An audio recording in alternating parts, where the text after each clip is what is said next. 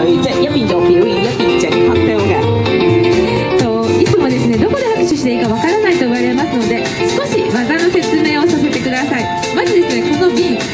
背面キャッチからやってみたいと思います咁同誒大家介紹翻少少佢哋嘅招數啦。咁第一